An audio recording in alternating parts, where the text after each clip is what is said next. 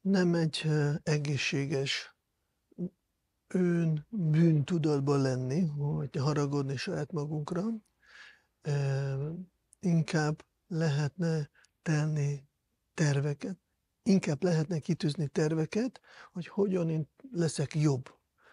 Most itt vagyok, rendben, ez egy tény, de nem akarok az maradni, aki vagyok, szeretnék jobb lenni, vagy fejlettebb, és akkor tervezek, és teszek valamit. Hogyha én csak egy bűntudatban maradok mindig, és haragszok magukra, akkor ez csak fokozódni fog fokozódni, és az én tudatom bezárkozik, beszűkül, és nagyon-nagyon szenvedni fogok, és nem lesz kilátásom.